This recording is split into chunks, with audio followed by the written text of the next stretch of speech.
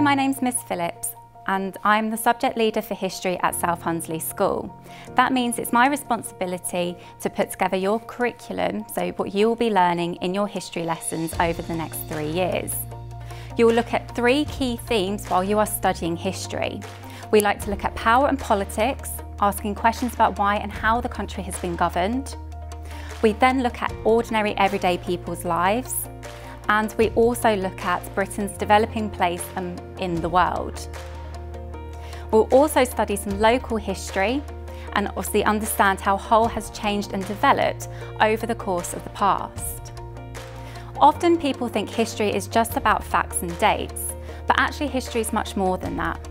In history, we look at interpretations, we look at people's opinions, we look at uncoding myths, propaganda, and ultimately we come to our own conclusions on what we think has happened.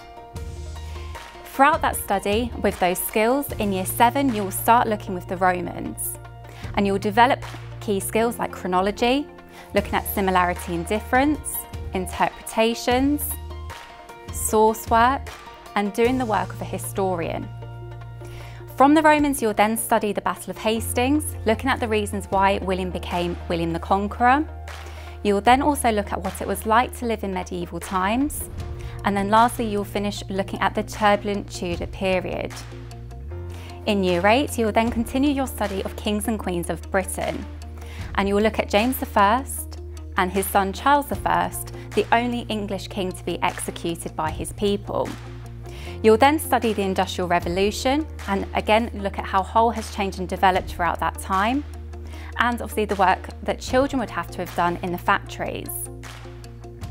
You'll then in Year 8 also then study Britain's changing role in, in the world. So you'll look at the British Empire, the causes and the reasons for the slave trade, and ultimately Britain's place today, and obviously the importance of remembering slavery.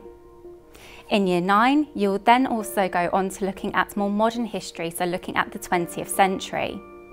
You will look at the First World War, and again, we look at local history, so we look at the Hulls Pals battalions in the First World War, and then we do an in-depth investigation on the Battle of the Somme and the reasons for its, uh, the reasons for its tragedy and significance.